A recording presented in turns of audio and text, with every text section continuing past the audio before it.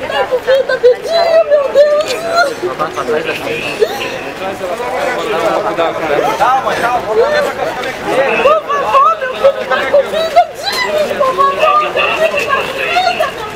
Fica pra cá. O auxiliar contábil Edilson Silva Souza, de 26 anos, foi assassinado na manhã desta terça-feira, 28 de agosto, com quatro tiros dentro do próprio carro. O crime aconteceu no bairro Cidade Nova, zona norte de Manaus. Segundo testemunhas, dois homens em uma moto ainda não identificada pela polícia pararam ao lado de Edilson e efetuaram os disparos. Quatro tiros acertaram a vítima, sendo três no braço e um no pescoço. A polícia descarta latrocínio, roubo seguido de morte. Ele estava chegando para o trabalho, ele trabalha ali na, aqui na, nessa parte dessa casa aqui, e é o escritório onde ele trabalhava, e ele estava chegando para o trabalho.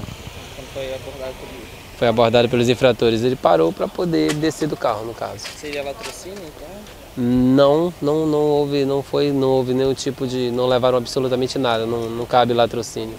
A delegacia especializada em homicídios e sequestros investiga os autores e a motivação do crime.